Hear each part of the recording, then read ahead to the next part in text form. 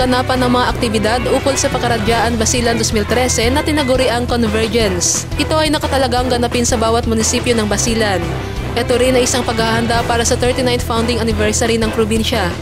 Ang tema ay ang daan tungo sa kapayapaan at kaunlaran. Ito ang hatid ng Convergence para sa Tayran Lantawan.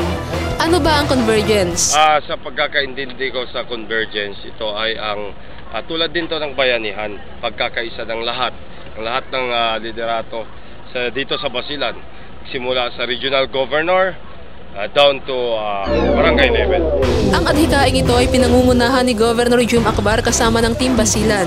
Ito ay sina Vice Governor Al Rashid Sakalahul, Board Member District 1 Yusuf T. Alano, President League of Municipalities Basilan Ali A. Sali, ABC President Basilan Munir S. Manisan, The Catholics Most Reverend Bishop Martin S. Humawad, Chairman National Ulama Council of the Philippines Dr. Abdul Kair Tarazon, Colonel Carlito G. Galvez Jr., Commanding Officer 104th Brigade, Police Senior Superintendent Mario M. Dapilioza, Provincial Director Basilan, Miss Mayra M. Ali, Provincial Director, Department of Science and Technology, Mr. Swibe Sahon, Provincial Director, Department of Interior and Local Government, Mr. Rene V. Carbayas, Basilan Field Officer, Philippine Information Agency, Mr. Jordan Huayni, Provincial Information Officer, Miss Miriam L. Suasito, Executive Director, Nagdilaab Foundation Incorporated, Miss Jobaira S. Said, Chairperson, Basilan Women Initiative Foundation Incorporated, Mr. Nathan B. Insung,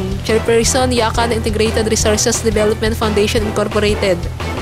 Ang convergence na ito ay simulain ng pansamantalang Regional Governor ng Autonomous Region in Masni, Mindanao na si Mujib Hataman at siya ring pangunahing tauhan dito. Ipinahayag niya rin ang mga naitalagang pondo sa ukol sa probinsya mula nakaraang taon at sa kasalukuyan. From Tipo Tipo proper, papuntang Kuhunlen ni Umu, Kuhunlen no, ah, meron kaming mga around 65 million. Sa pangunguna ni Dr. Roda Delgado Principe na siyang Provincial Health Officer, nagsagawa ng medical at dental mission. Nagkaroon din ng feeding program, namigay ng daan-daang tsinela sa mga mag-aaral. Nagsagawa ng livelihood program para sa komunidad. Namigay rin ng mga PhilHealth card. Para sa Balitang Filipino ng SamboTimes.com, Risa Lakbao nag